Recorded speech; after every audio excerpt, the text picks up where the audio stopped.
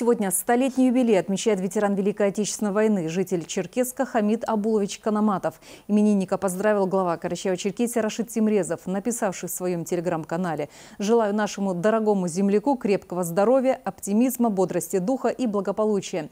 Низкий поклон Хамиду Абуловичу и вечная слава подвигу советского солдата». В гостях у Хамида Абуловича в этот день побывали почетные гости. О чествовании ветерана в репортаже Артура Махце с юбилеем, со столетием. От всей души всего самого доброго, самого наилучшего. Сегодня ему исполнилось 100 лет. Умудренный военным и жизненным опытом Хамид Абулович может подолгу отвечать, наверное, на любой вопрос.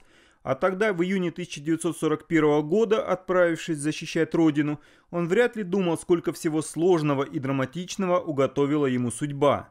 Так, с ноября 43-го и до конца войны, физически оставаясь на фронте, душой Хамид Канаматов находился рядом с депортированными родными. Рапорт все подробно описала своих родителях.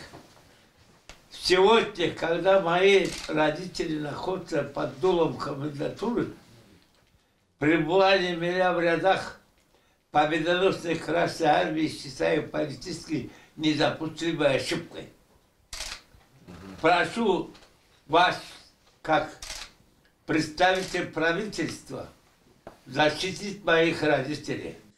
В этот день у Хамита Абуловича и его родных приятные хлопоты. Одно за другим следуют поздравления с юбилеем. Мэр Черкеска Алексей Баскаев зачитал пожелания от первого лица государства. Ваш трудовой жизненный путь, любовь к родине и вера в правое дело всегда будут служить примером для молодежи, для всех нас. Желаю вам здоровья и бодрости духа. Президент Российской Федерации Владимир Владимирович Путин. Заслуги нашего земляка на полях сражений отмечены боевыми наградами. Хамид Абулович удостоен орденов Отечественной войны первой и второй степени, двух орденов Красной Звезды, нескольких медалей. Но и после окончания службы в армии его жизнь – это путь патриота своей родины, человека, которому не безразлична история страны. Мы всех погибших воинов должны почитать ежегодно. Если мы если осуществим, то Россия никогда не победима. Артур Махце, Вести, Карачаев-Черкесия.